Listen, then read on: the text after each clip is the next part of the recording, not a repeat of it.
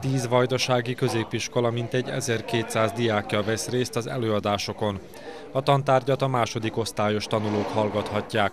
Újvidéken az Isidora Sekulić gimnáziumban szervezték meg az előadásokat. Prvo smo pričali sa učenicima da su zainteresovani, pošto većina bila zainteresovana, krenulo je testiranje, neko manje testiranje, koliki je procenat zainteresovanih. Zatim smo ovaj, tražili saglasnost od roditelja koji su oni potpisali i tek posle toga smo krenuli u organizaciju časova.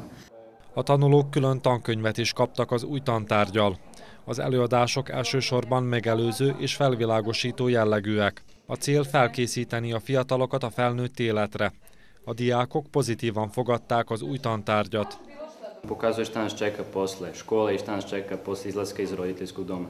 Na šta možemo naići, čega se čuvamo, uopšte dobijamo neka nova saznanja. Mislim da je baš bitno da u ovom periodu kada smo mi pubertletli, kad imamo neke svoje bubice, da baš u ovom trenutku dobijemo neku edukaciju u ovim veoma bitnim stvarima za nas.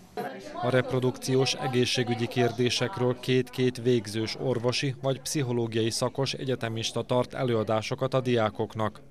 Mindannyian részt vettek már egy képzésen a témával kapcsolatban. Amennyiben sikeresnek minősül a projekt, a tartományi titkárság javasolja majd, hogy az a tantervbe is bekerüljön.